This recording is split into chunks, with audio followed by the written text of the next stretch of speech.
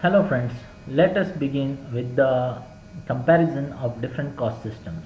Now basically there are three types of cost system. First is actual cost system, second is the normal cost system and third is the standard cost system.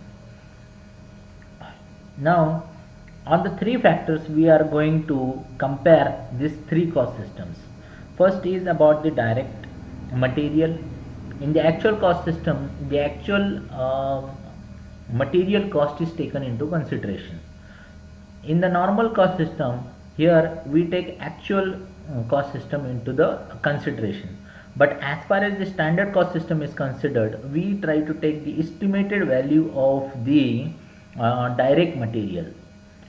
So my dear friend, this is the difference point between uh, as far as the direct material is concerned.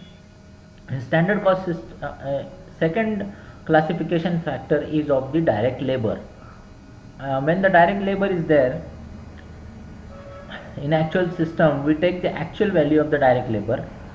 In normal system also we take the actual value and in the standard cost system we take the estimated value.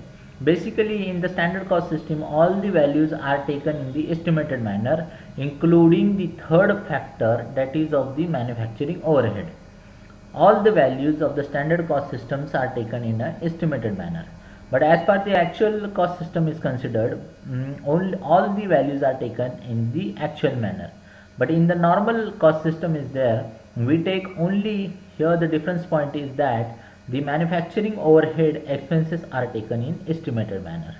So this is nothing but the comparison of the three different cost systems uh, measures mm, which we use in costing techniques.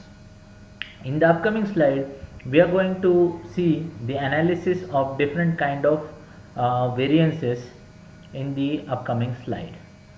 Thank you.